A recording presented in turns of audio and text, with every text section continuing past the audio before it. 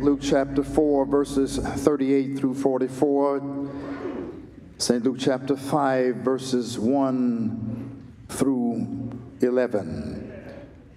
After leaving the synagogue, he entered Simon's house. Now, Simon's mother in law was suffering from a high fever. And they asked Jesus about her. Then he stood over her and rebuked the fever, and it left her immediately. She got up and began to serve them. As the sun was setting, all those who had any who were sick with various kinds of diseases brought them to Jesus, and he laid his hands on each of them and healed them. Demons also came out of many, shouting, You are the Son of God. But he rebuked them and would not allow them to speak because they knew that he was the Messiah. At daybreak, he departed and went into a deserted place, and the crowds were looking for him. And when they reached him, they tried to prevent him from leaving. But he said to them, I must proclaim the good news of the kingdom of God to other cities also. For I was sent for this purpose. And he continued proclaiming the message in the synagogues of Judea. And it came to pass that as the people pressed upon him to hear the word of God, he stood by the lake of Gennesaret and saw two ships standing by the lake. But the fishermen were gone out of them and were washing their nets. And Jesus entered into one of the ships, which was Simon's, and prayed him that he would thrust out a little from the land. And he sat down and taught the people out of the ship. Now, when he had left speaking, he said unto Simon, Launch out into the deep and let down your nets for a drought. And Simon answering said unto him, Master, we have toiled all the night and have taken nothing. Nevertheless, at thy word, I will let down the net. And when they had this done, they enclosed a great multitude of fishes, and their net brake. And they beckoned unto their partners which were in the other ship, that they should come and help them.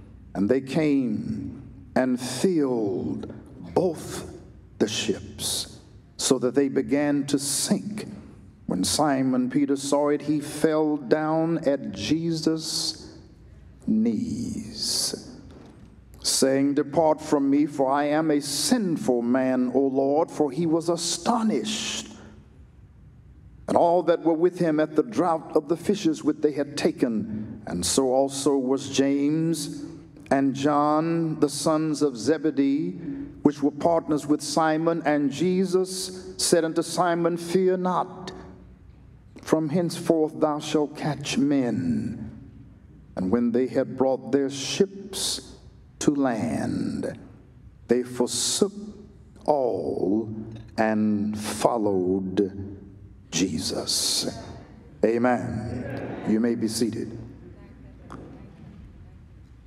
We are continuing with our series of sermons, building tomorrow's success despite yesterday's failure.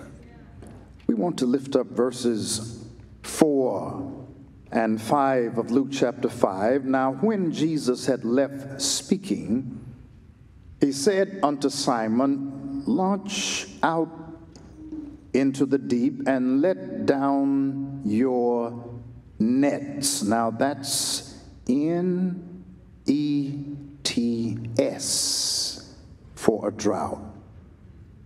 And Simon answering said unto him, Master, we have toiled all the night and have taken nothing. Nevertheless, at thy word, I will let down the net. That spell N E T. Hmm. And so, as we observe the setting in which the Lord Jesus Christ creates an atmosphere for tactile learning, experiential growth for these new disciples, Jesus is coming fresh from a failure at Nazareth. In fact, the Lord Jesus Christ shut down the ministry at Nazareth. And in shutting it down, he moved his administrative core to a totally different city. This is in keeping with the Lord Jesus Christ saying to the disciples, When you go and preach in a city, if they refuse you, then what you do is shake off the dust of your feet as a testimony against that city. Because if they refuse you, they refuse me. And if they refuse me, it would be more tolerable for Sodom and Gomorrah than for that city that rejected the kingdom of God. Jesus shut down the ministry and moved to a totally different ministry headquarters. For there are times when the Lord favors and blesses not just certain people, but certain places. And when God wants you to be in a certain place, he will take whatever means are necessary to move you into the right place to be blessed. Hello?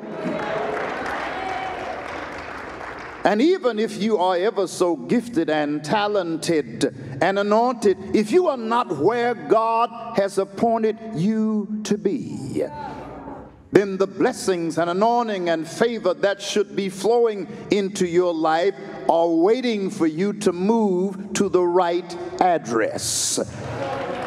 And sometimes it takes extreme measures for God to get you out of one place into the right place for you to be blessed. I wonder if there's anybody here who can just look at somebody and tell them, I know I'm in the right place to be blessed. Now, you understand how deeply personal this was for Jesus to have to change ministry headquarters because obviously he wanted to be in Nazareth. He wanted to be where his mother was. He wanted to be where his brothers and sisters were. He wanted to be used by God in the place where he had matured and grown up. But the fact of the matter is, his mother wasn't with him. I dare you to shout. Run down the aisle on that. His brothers and sisters were not with him. And sometimes, in order for God to use you, He might have to get you away from ungodly family folk so that the anointing of God can freely flow in your life. Yes, I'm uh, Dr. Felton, I'm getting ready to get up in somebody's Kool Aid. Sometimes the folk that you want to be around are not with you and don't support you and can't get with you, and yet God has a calling on your life. That's how we got started as a Judeo Christian heritage. God called a man named Abram, and he said, Abram, get out.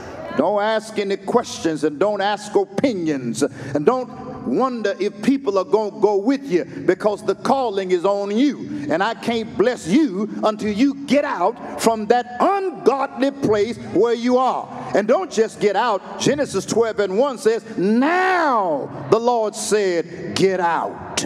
Don't waste God's time.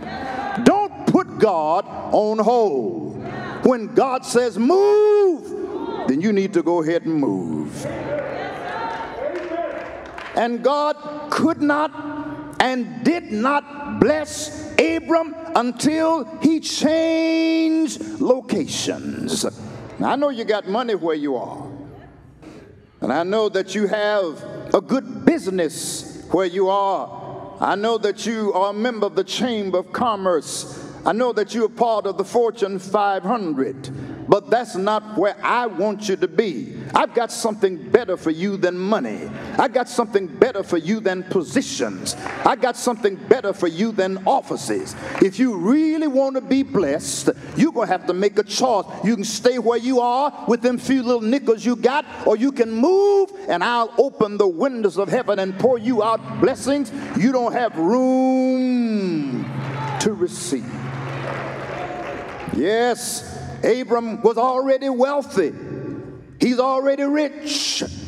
But when God moved upon him to get out of Ur of the Chaldees in Mesopotamia between the Tigris and Euphrates rivers, I'm not even going to tell you the address for them to forward the mail. You just start moving. Walk by faith. And as you move, I'll point you in the right direction. And because you're obeying me, I will bless you, make your name great. You're barren right now, can't even have a child. But if you move when I tell you to move, if you can count the grains of sand by the seashore, you can count the way that I'll bless you. If you can count the stars in the heavens, you count the way I'll multiply. You got to move when God says move. I hope this ain't too heavy for you today. In fact, you need some meat anyway. Hello? Yes, God impressed upon Jesus Christ.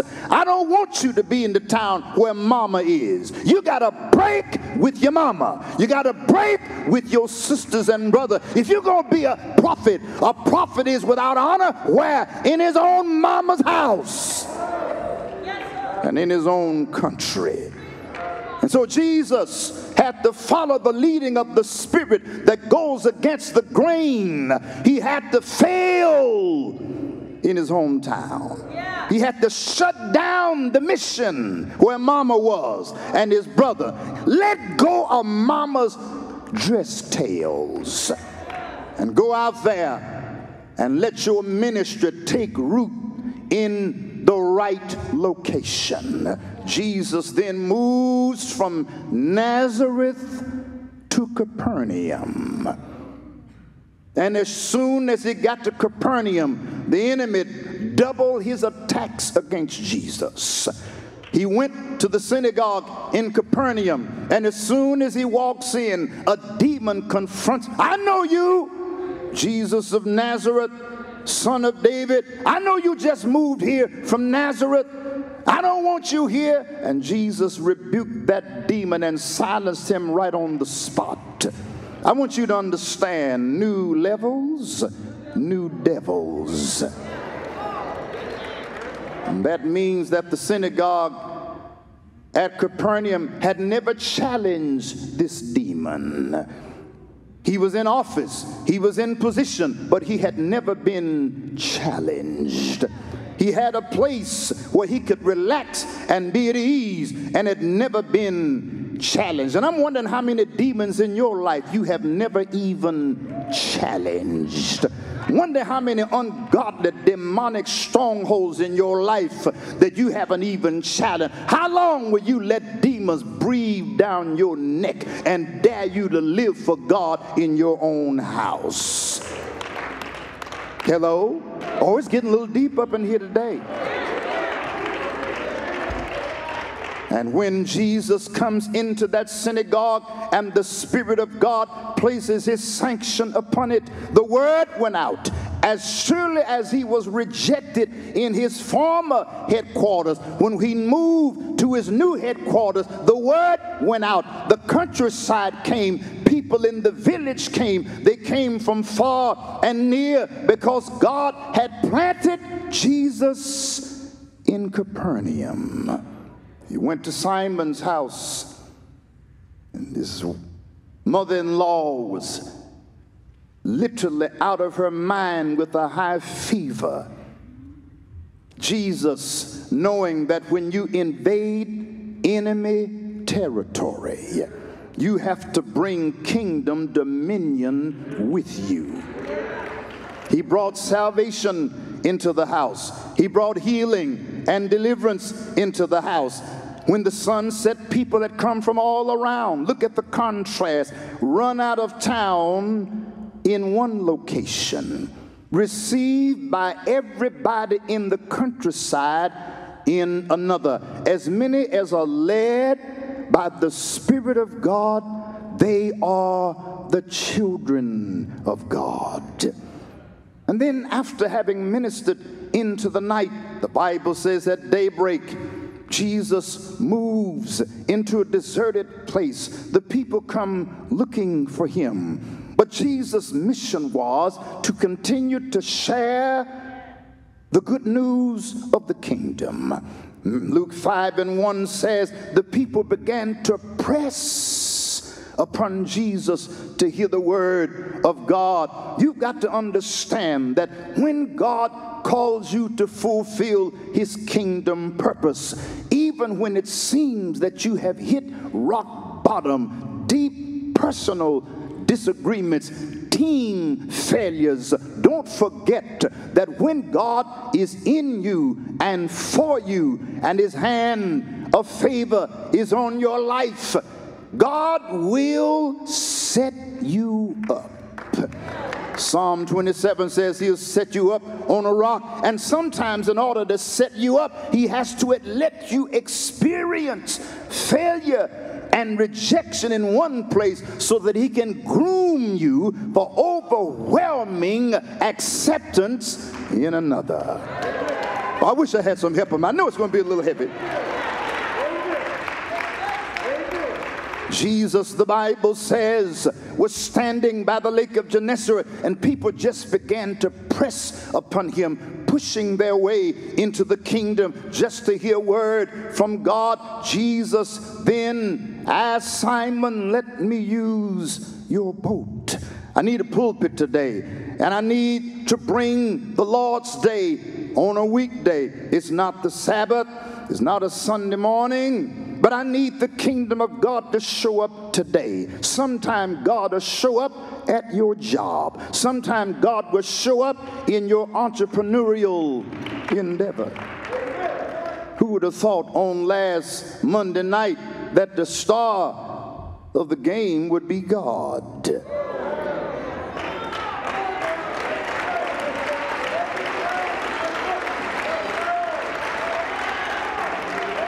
The whole nation is tuned in because these two teams have a long standing rivalry, and the Cincinnati Bengals have home field advantage as well as momentum. Buffalo's already been through the ringer, had two snowstorms that paralyzed the city, had a racist shooting back in the summer where white racists came and shut up the grocery store and said, I did it, I plead guilty. I shot them just because they were black. The whole city is wounded and scarred and broken. And when they got on the field, Damar Hamlin made a tackle, stood up, and snatched back down was he.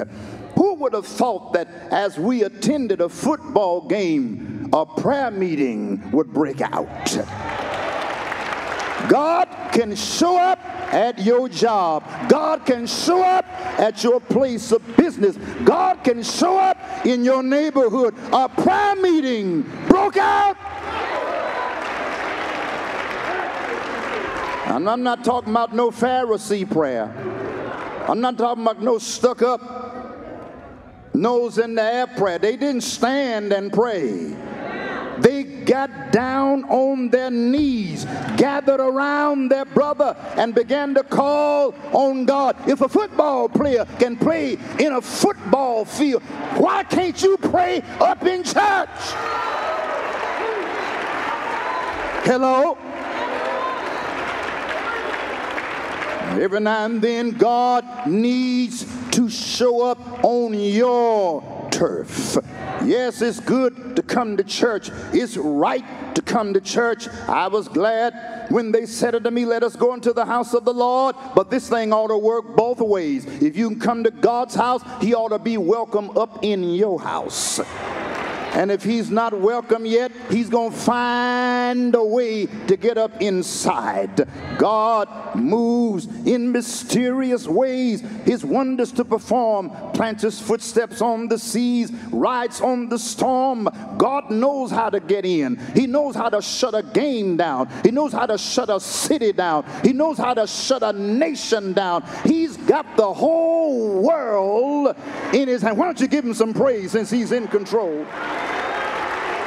Hallelujah. Jesus showed up at the workplace. And when he shows up at the workplace, he preaches the kingdom on the spot.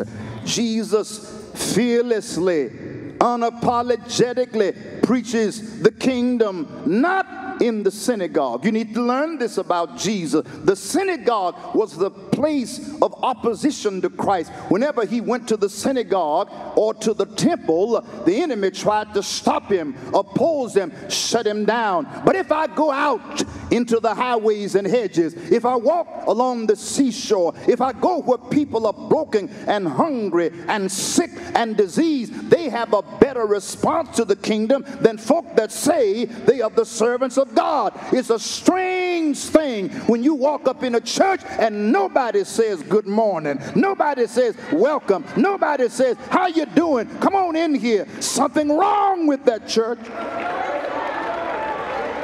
Hello?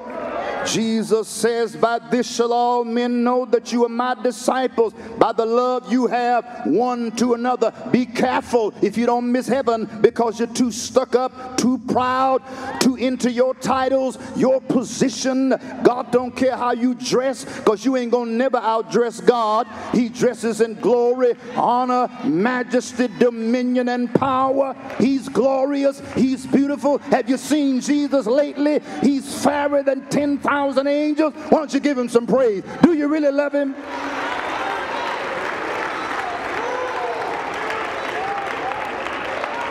Jesus received a greater response in an inconvenient location.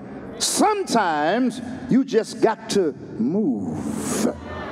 I know what I'm talking about because I don't like moving, but I've had to do it. And the fact of the matter is, the old folk were right. You may be high, you may be low, you may be rich, you may be poor, but when the Lord gets ready, you got to move. Jesus brought the kingdom to the world. Some people would never come into your church. We found that out during the pandemic. We were able to touch and win souls who passed by the building for years. But when we got out, even in the ice, in the cold, in the snowstorm, and began lifting up Jesus, people start coming to us saying, Pray for me. I heard the message, I heard the praise, I felt the presence of God. Sometimes you got got to get out of the box. Get out of your same seating situation. Get out of the place where you take a nap and move into a place where God can be glorified through your witness. Has that ever happened to anybody? Jesus preached from the boat, having just come off a ministry failure. He then confronts another failure. We read these verses and place emphasis upon them. Luke chapter 5, verse 4, when Jesus finished ministering to the masses, he gives a command to Simon launch out into the deep and let down your what? Nets, plural, more than one. N E T S for drought. But look at Simon's response. Jesus is giving him an opportunity to build today's miraculous turnaround and success. And Simon is still stuck in yesterday's miserable failure. He says to Jesus, I have a right to be groggy and upset.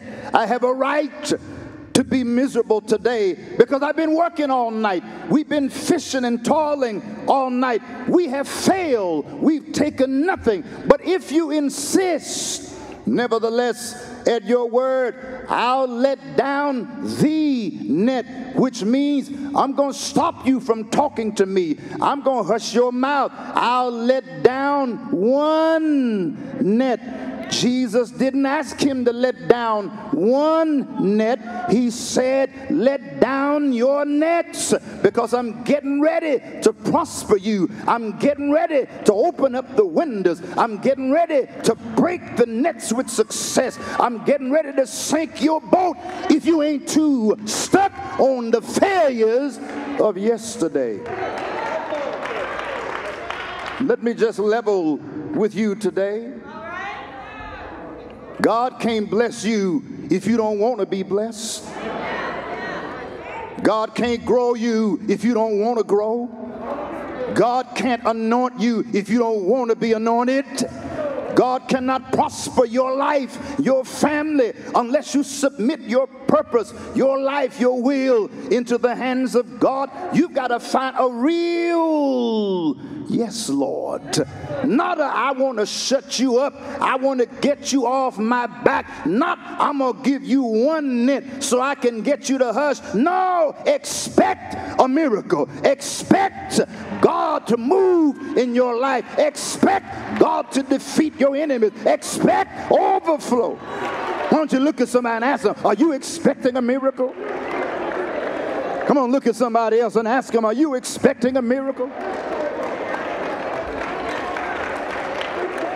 Jesus has to push this. Help me out, Brother Mike. Technician, help me out. Bring me back up. Thank you, Brother Technician.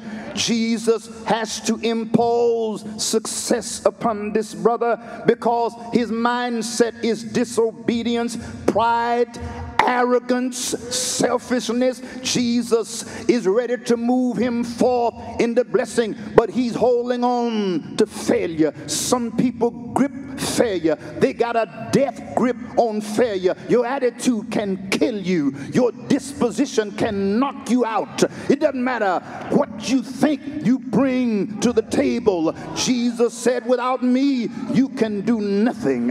What Simon was trying to tell Jesus, you don't even know what you're talking about. This is my boat. This is my business. You might be good at preaching and laying hands on the sick, but I know the fishing business, and I'm going to let down one net. And that's why God had to bring the kingdom and force it on the spot. You clown with God, He knows how to out clown you, baby. What did I tell you to do? I told you let down the nets.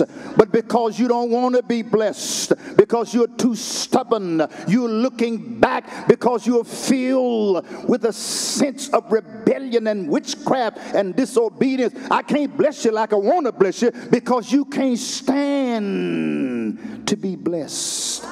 Hello? Come on, help me with look at somebody and ask them, can you stand to be blessed? Can you stand to be anointed? Can you stand God's revelation upon your life? Can you stand to God to promote you? Can you stand for God to take you higher? Or are you too bent on the past and too set in your ways to let go and let God? I want to bless you, but you can't stand to be blessed. But I'm going to prove God's kingdom authority anyway. I'm going to demonstrate that God's purpose and power is present anyway. Get out of the shore, get out of your comfort zone, move into the deep. If you want to catch the big fish, move into deeper waters. That means that you got to go into kingdom fishing. Too many people are church fishing.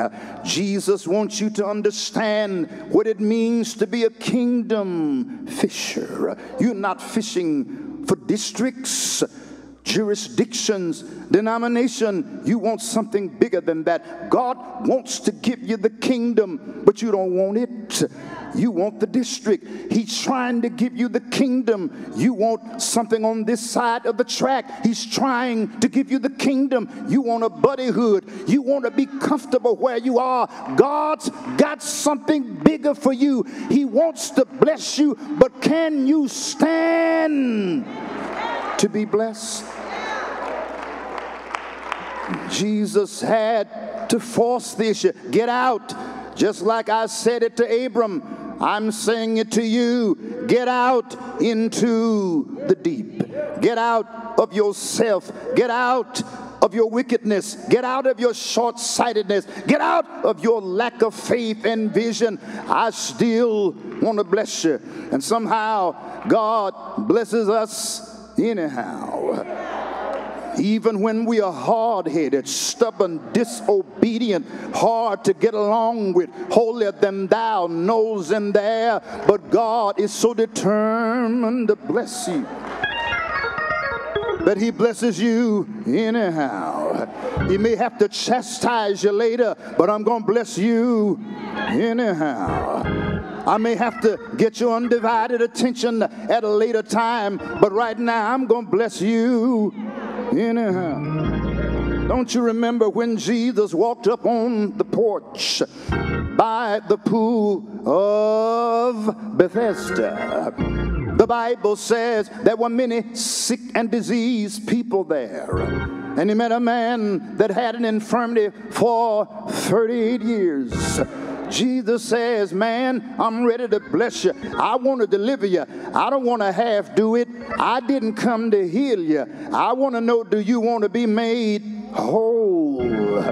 I see favor on your life. I see miracles on your family. I see prosperity on unborn generations. Do you want to be made whole? But the man was so wrapped up in yesterday's failures. All he could talk about was yesterday. Even the Beatles believe in yesterday. You don't need to put too much faith in yesterday. That is why your windshield should be bigger than your rearview mirror. Because if you got a great big rearview mirror, you can't get where you're going for looking where you've been. You can't forget about failures of the past. You can't let go of battles of the past. You can't forget your feelings being hurt in the past. Outgrow your disagreements, outgrow your stumbling blocks, outgrow your hurt feelings, grow in grace and in the knowledge of the Lord Jesus Christ. Launch out into the deep. Jesus said to the man, Man, I'm ready. I left heaven to bless your life. Don't worry about the angels. The angels move at my command. The angels are not coming today. Jesus is here today. Jesus is here to minister to you. Jesus Jesus is here to lift your bowed down head. Jesus is here to put grace in your spirit. Jesus is here for rivers of living water to flow out of your belly. Stop looking for your old paths, old friends, old habits. Let God do a new thing in your life. New year, new month, new day, new thing. Oh, let God do a new thing in your life. But the man never said, Yes, Lord. The man never said, I'm willing. The man never said, I surrender. He kept on talking about yesterday, kept on talking about people getting in my way. It was my mama, my uncle, my auntie, it was cousin him. Jesus said, I'm sick of that. Take up your bed and walk. I know you ain't right yet, but I'm going to bless you anyhow. I know you're not surrendered yet but this is your day to be blessed. I know you're not saved yet, but this is your day to be healed. I'll catch up with you later. I'm going to start the blessing now. I'll finish it on the next round. Take up your bed and walk. Say it. The man didn't realize Jesus had set him up. He walked straight through the middle of town carrying a pallet on his back. He was breaking the law, attracting attention. Self righteous people began to get in his face and say, Man, you must be crazy. Don't you know you don't carry your bed on the Sabbath? They never would let him testify, they never would let him say, I've been messed up for 38 years. I haven't been able to walk, haven't been able to carry anything. I apologize if it's hurting your feelings, but I just got a touch from God. I just felt God's presence. Well, man, who told you to take up your bed? I'm glad Jesus will bless you. Won't even give you his business card. He'll bless you won't even ask you to be his member. Jesus didn't even tell the man what his name was, but just be blessed. I'm not trying to get your number yet. Be blessed. I'm not trying to get your email be blessed. I'm not trying to get in your business. Be blessed. Sometimes uh, just be a blessing. Don't try to get entangled uh, all in folks' business. Don't try to get involved uh, all up in their situation. Just be a blessing. Come on and look at three or four people and say, Be blessed. Look at somebody else and say, Be blessed. God's got a blessing just for you. I don't care what kind of past you've had, what kind of failures you've been through. Today is a day of blessing. Today is a day of victory. Today is a day of favor. This is the day the Lord has made. We shall rejoice and be glad in it. Be blessed saved, be healed, be delivered, be set free, be happy, be prosperous, be an overcomer. God is in the blessing business, God is in the delivering business. This is your time to be blessed. Say yes. Come on and lift your hands and say, Lord, bless me anyhow. I've got some problems, but bless me anyhow. I've got some failures, but bless me anyhow. I need some work, but bless me anyhow. Hallelujah. Hallelujah. Jesus, bless this man Anyhow, met him a few hours later. I know you don't know my name, but let me tell you who I am. I am the Christ. And if you don't change, a worse thing than this will come upon you. I started the blessing, but I'm not through with you yet. When God begins to bless you, He's not going to stop until the day of fulfillment. He that hath begun a good work in you will perform it until the day of Christ. Come on, help me with this thing. Look at somebody and tell them God is not finished with you yet. God is not through blessing you. God is not through healing you. God is not through prospering you. Say yes. Yes. Thank you, Jesus. Thank you for initiating the process.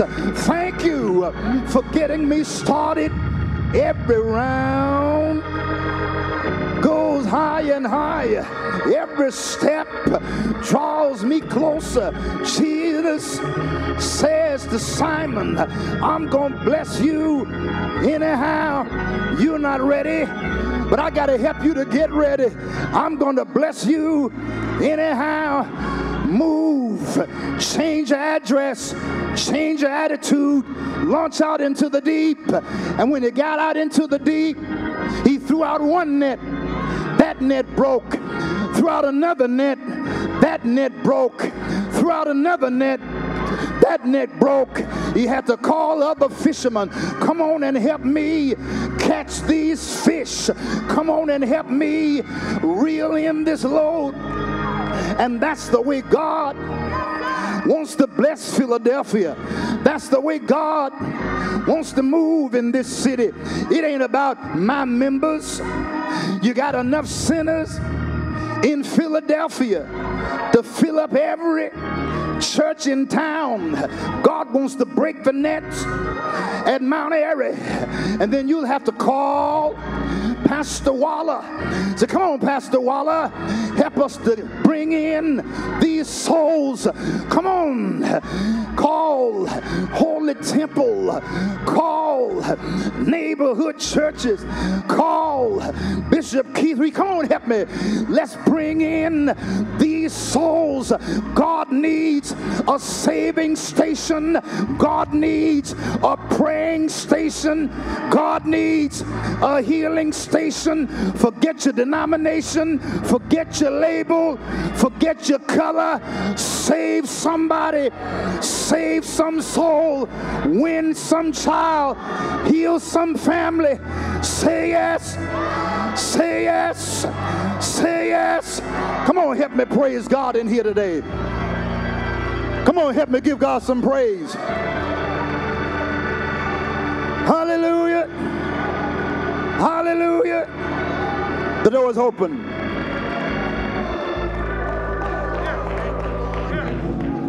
Sometimes we get so set.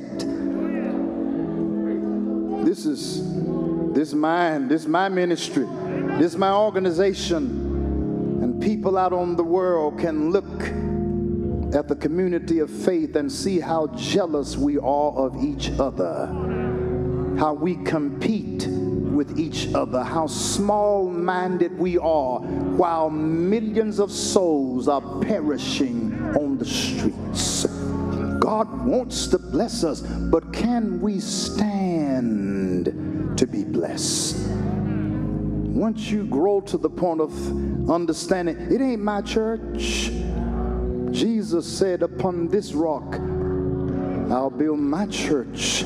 The gates of hell shall not prevail against it. Once you get kingdom minded enough that you don't care who gets the credit, I just want souls to be delivered. I just want people to be healed. I just want lives to be changed. I don't have to get any recognition. I just want to bless somebody. I wish I had some help up in here today. Come on and help me worship God. I just want to bless somebody. This is Bishop J. Louis Felton thanking you for joining us for the Mount Airy Kingdom Worship Experience. May you continue to partner with us as we share the gospel of Jesus Christ throughout the world. We love you in Jesus' name.